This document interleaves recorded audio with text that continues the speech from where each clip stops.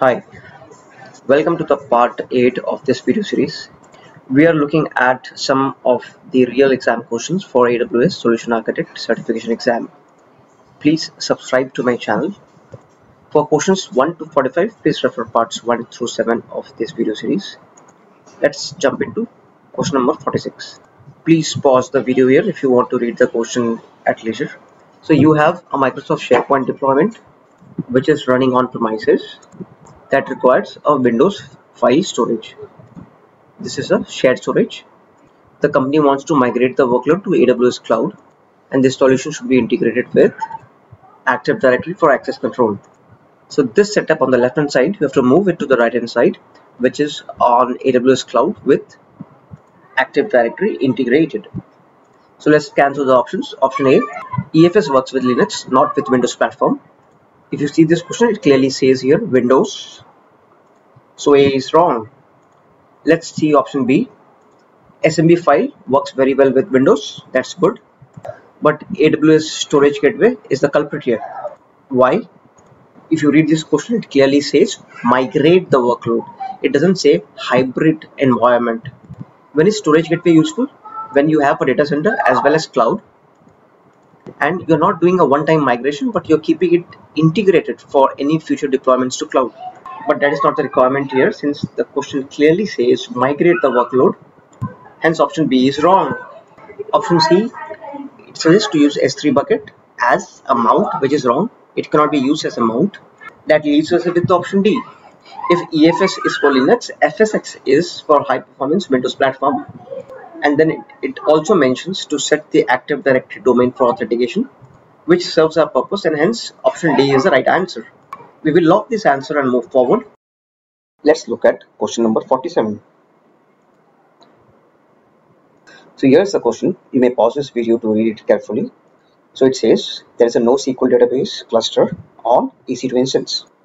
You are migrating to this EC2 instance. Okay, and it is creating three copies of data and it also says the high IO throughput of the servers is of highest priority. So this question is all about using an instance type. So you have a NoSQL database and you are putting this database on EC2 instances and when you are doing that it is creating three copies of this database. So common sense says when you are creating three copies you are making use of storage. You are not making use of compute. You are not making use of memory I repeat it, when you're making a database, you're making three copies of the database, you are using storage because the same data, you are going to store it three times. So it will utilize your storage. It is not going to utilize your compute memory. With that justification, A should be the right answer because it is a storage optimized instance. This question, the problem it explains is all about storage and hence A is right but let us also investigate options B, C, and D. Burstable GP instance. What it means is, as the name suggests, burstable. That means the load is not consistent. It sometimes bursts, it peaks, and sometimes it's pretty low. So it's not a consistent load. Does the question explain any such scenarios? No. It is only talking about three copies of the data. Hence B is wrong but what are those scenarios in which you can use burstable instances? Take the example of Uber. Sometimes during the day, the bookings are not consistent. If you see, when it was not a COVID time, at evening 6 o'clock, if you try to book Uber, due to the high demands, you do not get the cab or the cabs are too expensive because that there is unexpected load on the database in the servers. It's, it's that's why putting a burstable instance would be very lucrative for that scenario. But not good here. As a thumb rule always remember when you talk about memory it is something to do with the analytics application. Analytics application which is making use of memory because it stores data in your memory so that the performance of the analytics applications is great. Take the example of Tableau. If you're using Tableau on a database, Tableau makes use of a lot of memory optimized services. and if you are putting these on the databases then uh, memory optimized instances will definitely help you with that take another example of NoSQL databases like Cassandra putting it on a memory optimized instance will improve the performance of that NoSQL database in this question there is no mention of analytics application or any such problem statement hence C is wrong compute optimized instances are very helpful if you're running batch processing. Suppose if you have a variety of ETL jobs and the entire window takes four hours. If you give them compute optimized instances, it will work very well because the entire compute will be available at its disposal. Okay, but in this problem, if you see, there is no mention of any such batch processing it is just talking about creating three copies of data which is totally linked with storage and hence D is wrong. So we will lock this answer and move forward. Let's see question 48. A company is planning to deploy RDS database instance running on Aurora and the backup retention policy requirement is of 90 days so we need to recommend a solution. Now there are four solutions mentioned here. So let's scan through one by one. So what it says is when you are creating the RDS instance, you set the backup retention period to 90 days. That is fine. There are options to set this up. But this option doesn't talk about how exactly the backup would be taken either in the form of snapshots or some backup jobs. It doesn't explain that. So this is half the solution and hence it is not appropriate. So A is wrong. So B is talking about snapshots and what it says is you create automated snapshots. That seems to be fine, but then it is saying to save these in user managed S3 buckets. We all know that S3 buckets you can set a lifecycle policy and that lifecycle policy is majorly about moving from hot to cold to deep cold or deep archive. So since it is talking about moving to a user managed bucket, I'm not very comfortable with this. But let's park this option as of now because uh, let us see the other two options and then see if relatively this option is correct. Though uh, you you can do this, but let's see if this option is uh, there are better options. Now what this option says is you create a backup plan and you perform a daily snapshot of the RDBS or sorry RDS database with retention set to 90 days till here um, it it almost seems okay but you know what this will not work for RDS it will work for EFS uh, stores.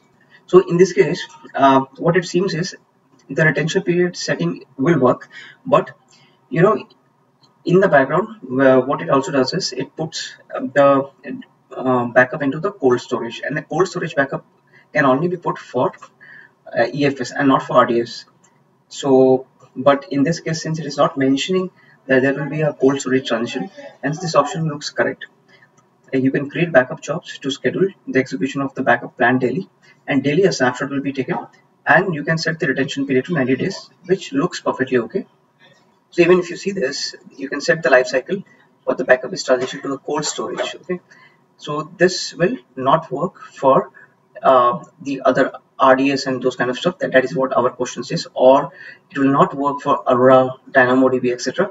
But it will work for the EFS file system backups.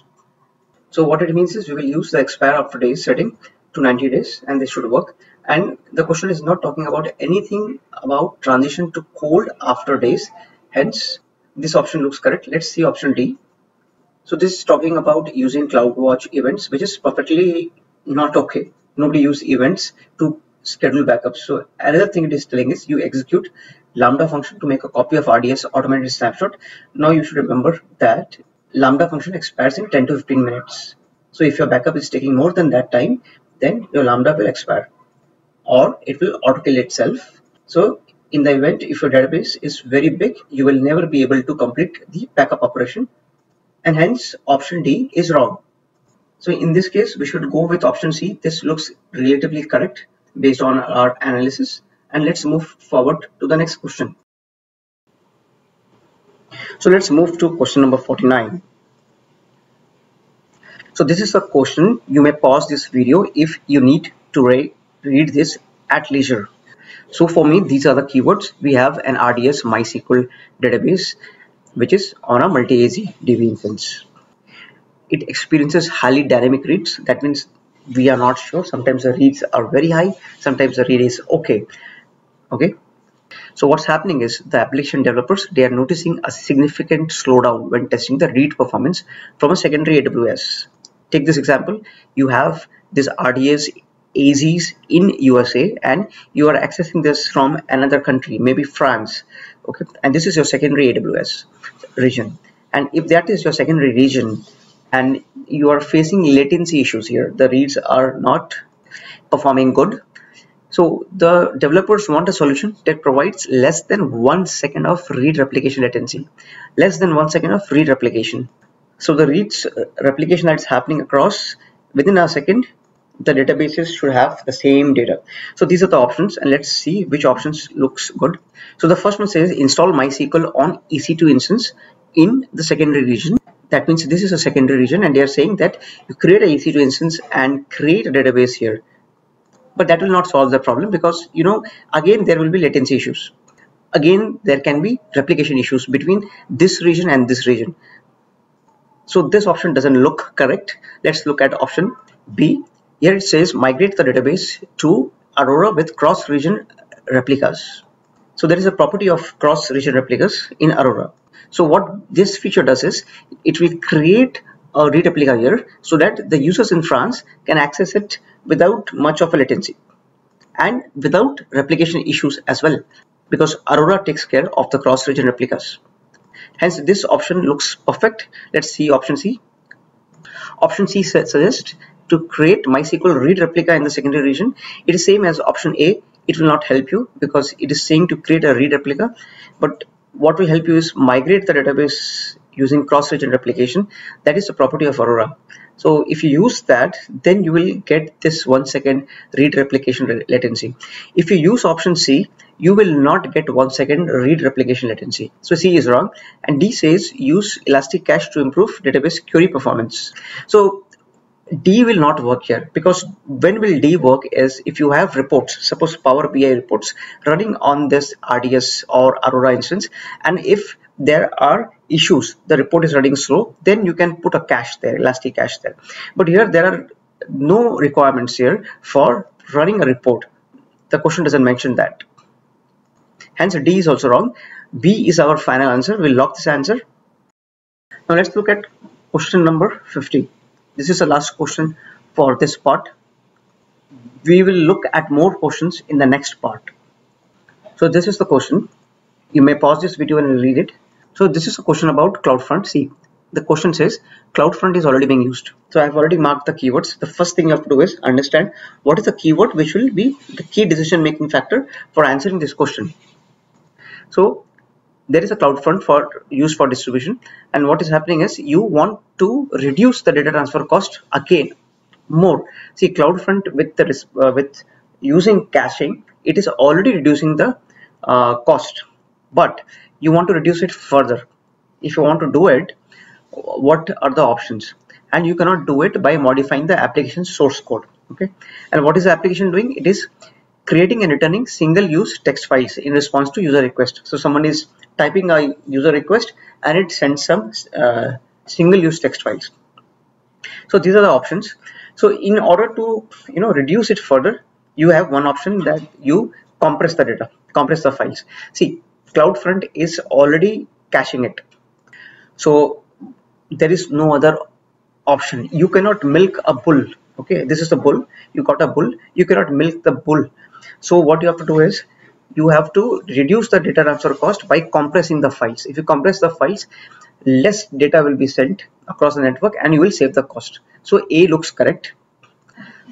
But let's also look at other options So option B is talking about using transfer acceleration to reduce response times. See, the question is not about reducing response times. The question is about reducing the cost. When you are doing cost reduction, if you use transfer acceleration, it will increase your cost by manifold. So B is wrong from a cost perspective. Option C, you are already using CloudFront and most likely when you're using CloudFront, you are using it for caching. So this is a repetition.